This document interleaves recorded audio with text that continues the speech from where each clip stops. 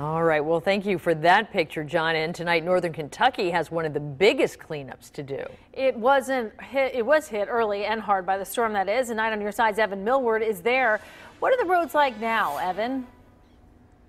Well, to take a look, we got a bird's eye view of 7175 just past the cut in the hill. You'll see at this 11 o'clock hour, almost all the lanes are almost entirely clean, but look how they glisten. Is it wet? Is it black ice? That's part of the fear. That fear is twofold fear of freezing and fear of far more traffic on the road tomorrow.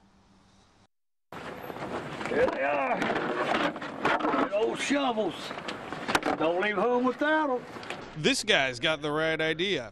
Hey, for $10, you can make hundreds of dollars with them. You know? Eric Sullivan's just one of a handful of people who said they spent the day plowing away around Villa Hills.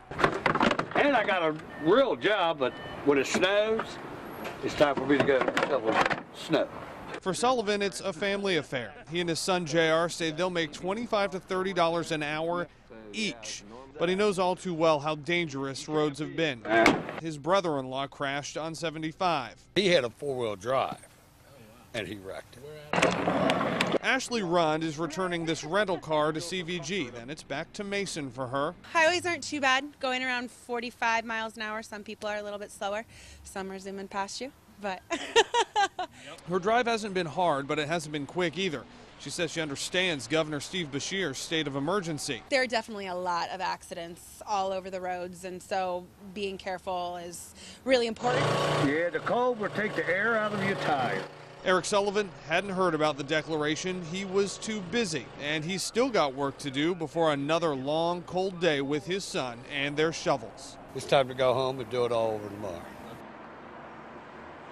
So back out here live, refreezing the issue in the morning. Governor Steve Beshear saying by declaring that state of emergency, he can deploy aid across the state more quickly. He also hopes drivers take notice and stay off the road tomorrow. We're live in Fort Mitchell tonight. I'm Evan Millward, 9 on your side. Evan, thank you.